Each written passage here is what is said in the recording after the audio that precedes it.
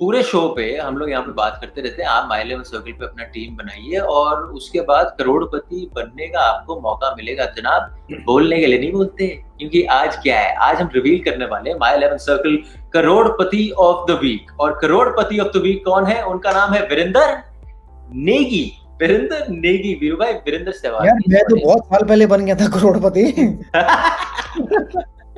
सही बात है वीरू भाई, पर वीरेंद्र नेगी साहब की दाद देनी पड़ेगी यहाँ पे, क्योंकि उनने टीम भी काफ़ी अच्छी बनाई है यहाँ पे। आप, हम स्किल की बात कर रहे थे, हम इंटेलिजेंस की बात कर रहे थे। एक फैंटेसी टीम बनाने में भी थोड़ा स्किल और इंटेलिजेंस का भी ज़रूरत है।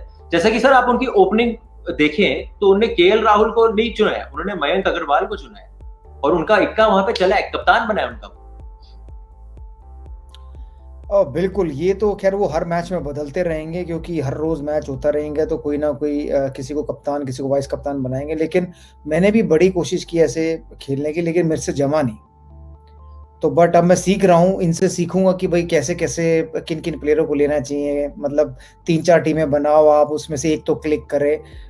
तो आज तो वीरेंद्र नेग जी का सही जैकपॉट लगा है कि एक करोड़ रुपए हम्म। लेके जाएँगे करोड़पति बन गए हैं।